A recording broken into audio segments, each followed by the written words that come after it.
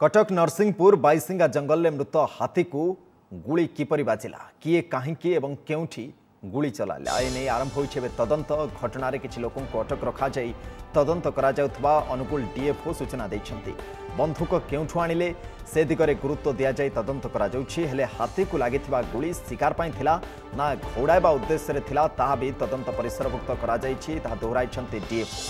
ବାଇସିଙ୍ଗା ଜଙ୍ଗଲରେ ହାତୀ ଦେହରେ ପାଞ୍ଚ ପାଞ୍ଚଟି ଗୁଳି ବାଜିଥିଲା ଏହାପରେ ଗୁରୁତର ହୋଇ ହାତୀର ଚିକିତ୍ସାଧୀନ ଅବସ୍ଥାରେ ମୃତ୍ୟୁ ହୋଇଯାଇଥିଲା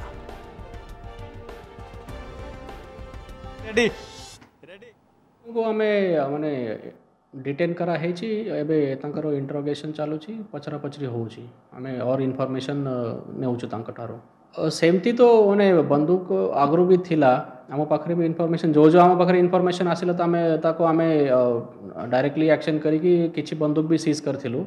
तापर भी और भी किसी थे एमती घटना हो पाए तो जो जिते बड़े समय आम पाखे इनफर्मेसन आसूँ जो लोग घरे बंदूक रखी आम सांगे सांगे आक्शन करीज कर लोक आरेस्ट भी कराऊटा तो मानने तदंत पर ही बाहर मानते जिते बड़े लोक आरेस्ट हो जाए से जमी कहले ही आम मुझे कहीपरि आपको